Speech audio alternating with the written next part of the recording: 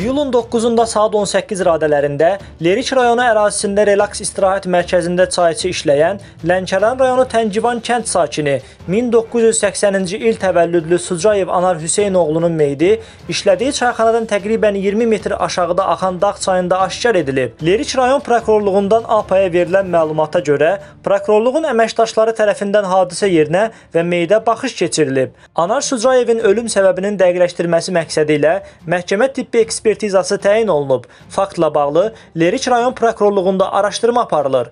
Qeyd edək ki, jurnalist Həbib Müntəzir özünün sosial media hesabından bu xəbəri paylaşaraq Relax istirahət mərkəzinin deputat İqbal Məmmədova məxsus olduğunu, oteldə işləyən Anarın yaxınlarının isə onun öldürüldüyünü iddiasını paylaşıb.